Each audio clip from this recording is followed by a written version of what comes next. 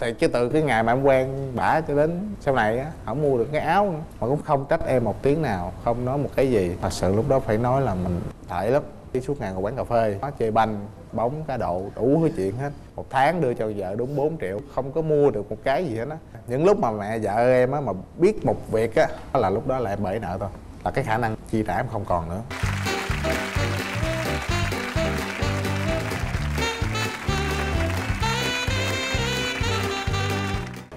Em xin chào à, chị Hồng Vân và anh Quốc Thuận. Xin chào hai bạn nghe Dạ. à, Mời hai bạn giới thiệu về mình Dạ, em à, tên là Ngọc Sĩ, vợ em là Ngọc Hân.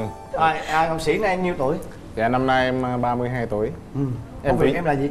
Dạ, em kinh doanh à, mặt hàng ăn uống trên Bình Dương á anh. Rồi, mời em Dạ Em hiện tại đang um, làm salon tóc anh à. Dạ Nay nhiêu tuổi rồi Ngọc Ngân? Năm nay em 28 tuổi rồi Ngọc Sĩ và vợ mình á là cái chuyện tình yêu của hai người như thế nào? Thì à, năm 2010 á, là em tốt nghiệp bên à, Úc. Thì tháng 8 em có bay về Việt Nam là bắt đầu cái đi chơi thì tháng 9 gặp à, vợ em trong một buổi tiệc xong rồi cái à, thích Đứng Là- hình đúng không? không mà lúc đó bà đẹp đẹp lắm giờ bà cũng đẹp vậy nói, nói chung là khi mà em gặp vợ em làm ấn tượng liền đúng không Dạ. còn em gặp chồng em Gặp em anh ấy ấn có gì tượng không? liền không Dạ không không à Có điều là hơi chảnh chảnh thôi chị. Anh chảnh hay là em chảnh? Không ảnh chảnh lắm. Ồ. Anh chảnh lắm mà những người chảnh là em chảnh hơn nữa. Ồ, vậy đó. Không em chỉ ờ, ấn tượng ảnh là ảnh sống biết nghĩ tới người khác lắm. Cái lúc mà đi ăn ờ, cháo vịt ở dưới Thanh Đa á, Thì ờ, có một cậu bé mấy số lại ờ, mời à, ảnh mua vé số. Thì ảnh mới nói là mày ngồi đó đi. Cái ảnh kêu quán cháo vịt là đem cho thằng nhóc một phần cháo một phần gỏi. Kêu ngồi ăn mà em nhìn ảnh em cảm thấy là chắc là người đàn ông mình em cần em cần em đang cần tìm. Ồ vậy đó tại em cũng là sống tình cảm lắm nên em thích một vợ chồng em này cũng vậy sống tình cảm biết nghĩ người khác nữa. Thành ra không biết sao vợ chồng em gặp tí xế tình ngay lúc đó luôn. Nói chung là nhờ cậu bé và nhờ tô cháo vịt vì nhờ cậu bé mới có nghĩa là mới có cái duyên cái duyên để gọi là ảnh có thể là ảnh tạo ra mọi thứ để cho hai người có cảm tình với nhau. Dạ. Rồi bao lâu thì bắt đầu là cưới. nảy nở mọi thứ? Quen nhau được 3 tháng thì em dính bầu. Ừ. lúc đó mẹ em chưa có biết xong rồi còn 3 ngày nữa mới sanh á thì mẹ em mới biết. Đó mẹ em cũng giận lắm. Khi ờ, sanh em bé thì mẹ em có ra phòng chờ để mà nhìn đứa bé để coi như thế nào tại vì chị cũng biết mà. Bên ngoài người ta nói ra nói vô nhiều lắm. Cho nên mẹ xuống mẹ xem mặt đứa cháu của mẹ coi có phải là cháu mẹ hay không. Nhưng thật sự khi đẩy đứa bé ra mẹ nhìn cái có cười. Tại vì á mẹ em nói là y như hai giọt nước y vậy với lại mẹ nhìn mẹ biết liền tại vì Dạ. lúc lúc nhỏ em như thế nào á thì cái đứa cháu nó y chang vậy không bao giờ Dạ. bà quên được. Dạ. còn còn em thì sao? Lúc đó là em định bỏ xứ em đi rồi lúc đó em giấu ba má em không biết thì bắt đầu có những cơn ngán. Má em nhìn má em biết liền à. Má em lôi vô phòng má em nói là con có bầu phải không? Mà nước mắt má em rưng rưng vậy nè. Cái um, má em nói là con nói đi má không có la đâu. Cái em nói có bầu. Trời ơi, má la muốn bể nóc nhà. Luôn quá trời quá luôn không à, bị má dụ. thì sự lúc đó em cứ sợ sợ mà thì Em sợ, sợ. Mà gặp lúc đó em mới về nước rồi xong giờ về em nghĩ còn trẻ mà em không có chấp nhận. Khi mà má vợ em biết á, có nói chuyện với em em cũng không nhận luôn. Em đủ thừa đủ thứ lý do á. Để rồi vợ em nói, anh không nhận thì thôi, em đâu cần anh nhận đâu. Từ lúc đó là không liên hệ với nhau. Suốt hơn một tuần lễ, thì em ở nhà rảnh cũng coi phim, thì vô tình coi một cái tập phim á. Thấy cái cảnh đi tối á, đứa bé nó khóc, thì người vợ dỗ dành cũng khóc theo luôn. Cái lúc đó em tự trách bản thân mình mình không phải là người xấu mình không phải là người trốn tránh trách nhiệm. Mình sẵn sàng nhận hết tất cả những mình đã làm ra cho nên em mới bắt đầu em bước xuống. Em nói chuyện với má thì ờ, lúc đó đó má cũng biết là em không muốn cho gia đình em biết. Cho nên má kêu thôi bây giờ hai đứa dọn ra căn nhà của má để ở. Rồi ngày qua ngày cuối cùng đến ngày mẹ em biết và sanh đứa bé ra. Đó mà lúc đó thực sự là em rất là ham chơi vợ mang bầu, vợ mang bầu, chứ em đi làm, em đi chơi, rồi em đi ăn nhậu, rồi không có màng tới vợ em.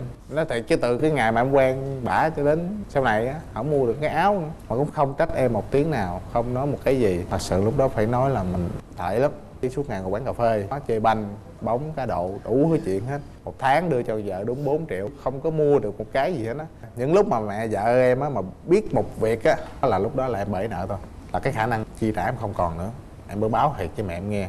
Thì giờ em biết. Thì cũng chỉ biết khóc thôi, chứ giờ làm gì giờ? Đó, cái lần thứ nhất, lần thứ hai, để rồi lần thứ ba, cái lần cuối cùng luôn á, thì em mới tự cảm nhận là bị lạc lối rồi. Suy nghĩ lại bản thân mày đi, mình đâu phải là con người như vậy đâu. Cái em không muốn liên quan với gia đình em nữa. Em nói thẳng với mẹ em luôn là mẹ cứ để cho con tự lo.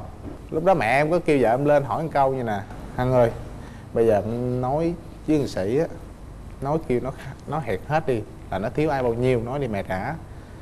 Nhưng vợ em không có cho. Vợ em nói, nếu như mẹ mà cho tiền trả nữa thì sau này anh cũng dẫn về, anh không có thay đổi đâu mẹ. Mẹ cứ để cho ảnh đi, con hứa với mẹ con không bỏ anh đâu. Đó, xong rồi cái mở quán ăn vặt, mà bà này bà ham làm lắm.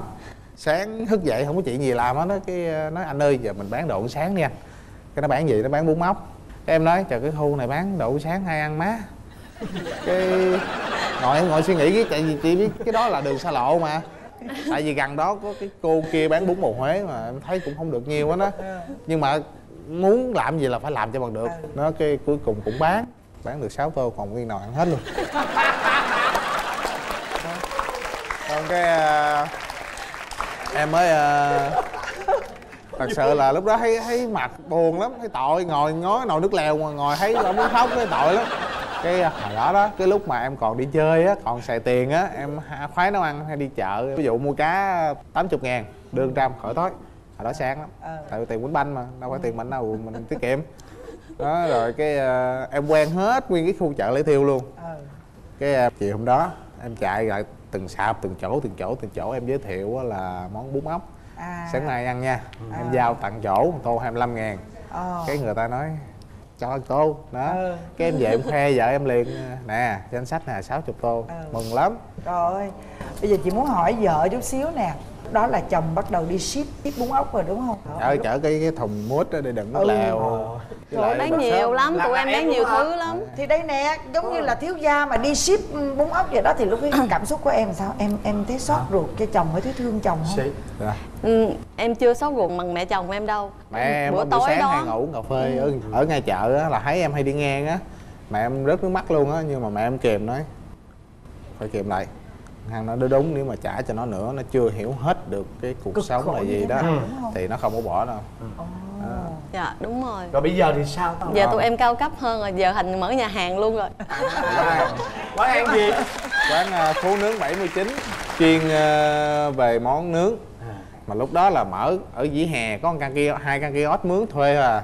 Cái từ từ từ từ từ từ mới khuếch trương ra thì được cái quán lớn như bây giờ. Quán nướng đúng không? À, em đầu bếp em đầu bếp em bếp vậy luôn. đó hả? Giỏi vậy À. em chuyên về món nướng. Đó, Làm với- ghé. dạ. Rồi giờ vợ thì làm cái gì? trước khi mà em gặp ông xã em á thì em có làm tóc. Em ở được nửa năm là em gặp ổng ông thỉnh em đi luôn á. Cái bắt đầu làm vợ chồng em mở quán ăn thì được một năm. Cái bắt đầu em nhớ nghề quá. Cái bắt đầu làm em mở online trong cái phòng vợ chồng em. Ờ. Ờ, cái ngày ngày đông quá. Em nói anh ơi anh giờ qua phòng khác đi. Em lấy cái phòng trên nữa đông nữa. Em nói ông, ông qua kho ở luôn đi. Vợ chồng em qua kho ở. Cuối cùng lấy ba căn để làm em làm tóc. Ồ, chị có thấy rằng là hạp đó. Đó, không là hạp đó. Thấy hợp nhất là sao chị biết không? Mộc sinh hỏa. Em mạng mộc ảnh mạng hỏa nè. Thành ra lấy em về em lo cho ảnh không à. Ờ, không có kìa ai ai ai ai ai ai nấu ăn. Ai đâu ai giặt đầu ai nấu ăn ai giặt đồ nè Anh nói ai rồi? thấy gì ngon Sao? thì dành đó nè. Không cái chuyện đó là chút nữa chúng ta sẽ nói vô cái phần dịch mặt nha. Bây giờ muốn hỏi cảm nhận của em là sau khi mà tất cả mọi thứ Quay đầu là bờ đó. ở đó. Tất cả mọi thứ đã được em thay đổi quay đầu là bờ. Thì em có thể chia sẻ là cái cảm nhận của em ờ, Trong sau một cái thời gian mà em thay đổi như vậy thì như thế nào? Cuộc sống vợ chồng em bây giờ nó rất rất rất là hạnh phúc. Tại vì em á là con người sống tình cảm. Mình dám làm mình dám chịu thì bây giờ á, là cứ trong lòng á, thỉnh thoảng á, có có một cái mặc cảm là ngày xưa đã làm khổ vợ rất là nhiều. Đối với em á thà em chịu thiệt chứ em không muốn những người thân cận của em đau khổ vì em. Cho nên bây giờ á, thì những lúc á mà phải làm cái chuyện gì mà buồn á thì em cũng chỉ im lặng thôi. Chứ em không có chữ lộn như ngày xưa nữa. Đó chị nghĩ chữ vậy lộn đó. như lắm mà thì ờ, có cái cảm giác cảm giác là bây giờ mình là trụ cột gia đình. Có nghĩa là bây giờ người này á, là đã thay đổi rồi quay đầu về bờ cho nên giờ á ưu tiên cho người này dạch mặt trước đi qua À. cái phần đại hội dạch Ê, mặt. ê sĩ ví dụ như bà xã em vậy đó thì Tật xấu gì? tật xấu gì có không? Có nhiều không em? Thật sự là đối với người khác thì em không cần biết người ta nhìn nhận như thế nào chứ đối với em thật sự là em rất là hoàn hảo. Giờ em là số 1 à, em có ngồi rồi. Rồi sướng cười. Thế còn là em ông xã em. Em chỉ muốn là ảnh ngủ sớm hơn thôi. Chứ ảnh thức khuya quá. Có phải là do công việc không? Có đầu công việc với lại thói quen. Tại vì mở quán là bắt đầu 2 giờ là mở. Thì ờ, cho đến ờ, 12 giờ là xong. Cái đóng cửa cái em phải tính toán rồi này kia rồi xong hết khoảng 1 giờ em lên em lên thì cái cái thói quen rồi cứ lên mạng coi facebook coi phim coi hài cho nó thoải mái bắt đầu mới ngủ. Dạ mà trong khi đó 5 giờ rưỡi 6 giờ sáng là anh phải thức dậy lo cho con đi học rồi. Ôi là em ngủ được bao nhiêu rồi sau đó về mới ngủ tiếp một xíu đúng có không? đi làm tiếp thì em Dạ. đất ơi, ngủ đi ảnh đi ảnh chợ. Thuộc dạng thiếu ngủ trầm trọng luôn á. Đi đi chợ mua đồ cho quán á. Xong rồi ờ, có mua nhà đất rồi này kia rồi mình phải chạy hồ sơ. Đó Trời. Giỡn hoài em nhiều em quá em có ơi. được em đâu có dạ được. hồi xưa hồi xưa thì ảnh ham chơi bao nhiêu giờ em thấy ảnh cài bấy nhiêu luôn. Buổi buổi thì cũng lo. buổi trưa thì được ngủ. Nó nó, nó quen cái không giấc rồi. không được không được không được. Dạ, bây giờ nè chị nói nè em á à, bây giờ em thay đổi gần như 180 độ rồi. Nhưng mà em thay đổi được cái này thì em lại dướng vô cái khác đó là cái vấn đề ít ngủ là nguy hiểm lắm em. Ừ. chị nói thiệt nó nguy hiểm không có thua gì cái chuyện mà hồi đó em chơi banh đâu. Cái đó chị nói nghiêm túc luôn À. tại vì cái thiếu ngủ nó sẽ sinh ra rất nhiều những cái hệ lụy mà mình không lường trước được. Dạ, em hiểu. À, đầu tiên là về thần kinh á về não á về thần kinh á. Chị nói thiệt mà. Sát thủ thầm lặng á. Sát thủ thầm lặng đó chị nói thiệt. Đúng đúng đúng. Em cũng có cảm nhận được tại vì hồi đó em khỏe khoắn em cứng rắn lắm mà thức khuya cái vợ vợ nói gì cũng dám cãi. Chứ đ- đến lúc em sẽ khóc nữa. Khóc hoài hỏi đụng sẽ là khóc Đúng giống rồi. anh Bin bây giờ là khóc hoài đó thì nó giỡn thôi. À, thực ra vợ chồng em á đã trải qua quá nhiều sóng gió đúng không? Rồi tụi em vẫn ở bên cạnh nhau và bây giờ càng ngày thì thấy là cái cuộc sống nó càng hạnh phúc hơn. Dạ. Dạ. Ờ, càng gọi là yêu thương nhau hơn và hiểu ra đây là một nửa của mình và không bao giờ muốn để mất cái một nửa đó. Dạ. gia đình cũng hạnh phúc hai bên gia đình cũng đã gọi là chấp nhận tụi em và yêu thương tụi em rồi. Thì thành ra chị nghĩ rằng tụi em phải giữ cái điều đó. Dạ. và giữ cái điều đó đồng nghĩa với chuyện cả hai vợ chồng đều phải giữ sức khỏe. Dạ. cái đó là cái rất là quan trọng. Người ta vẫn nói đó có sức khỏe là có tất cả. Phải cố gắng sắp nên xếp một thời cân gian. bằng. Không cân, phải cân bằng thời thì gian. em cũng quan trọng cái sức khỏe em lắm tại vì em có được đứa con trai đứa con gái mà. Thôi, gia đó, đình à, hạnh thì phúc quá mà, mà vợ đẹp mà con ngoan. Ôi trời ơi tiền bạc có để làm gì đó đúng không? rồi. Đó. Thôi xin chúc cho hai em lúc nào cũng vui tươi và hạnh phúc viên mãn như thế này. Dạ rồi. mãi mãi Dạ, nhé. cảm ơn ơn anh